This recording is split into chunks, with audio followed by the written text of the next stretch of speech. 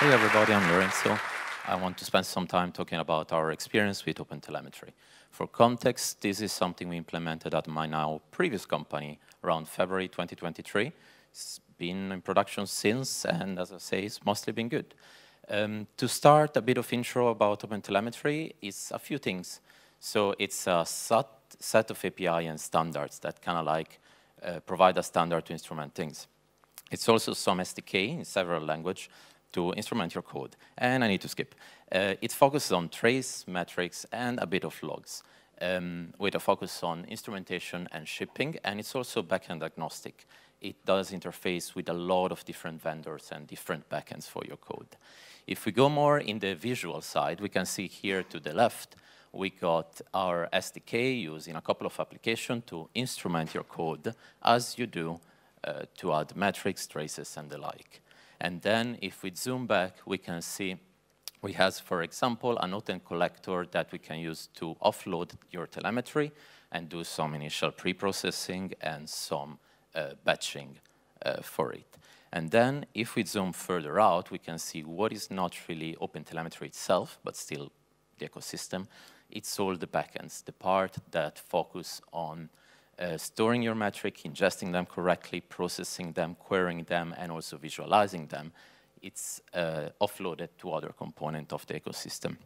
And that brings me to the good that I've seen. Uh, these are a few of the systems that I had experienced over the year.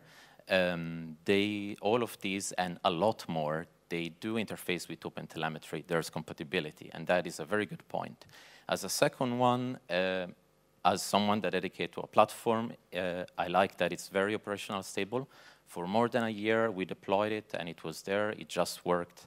Uh, and again, a, it has a flexible architecture. It is uh, push by default with support for pull.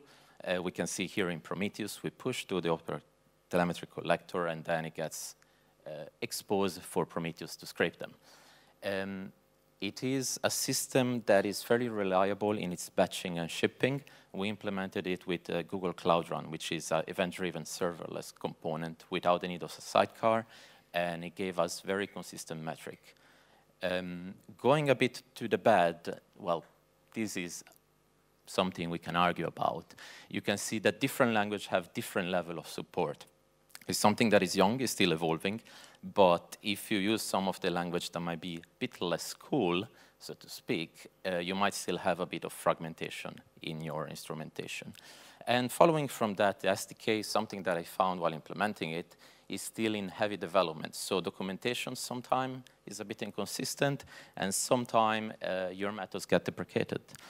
And finally, it's still a lot of boilerplate. This is a screenshot from a workshop that I had in May of this year. This is almost yeah, 23 lines in Python, and this is only to instrument for metrics. So there's some work to be done there. The ugly for me is that it's not a unicorn, it's not magic. You still need to consider the limitation and the limits of your backends. As an example, you can instrument and send a lot of labels for your metrics, and then your backend Prometheus will melt. It, does, it doesn't solve all your problem.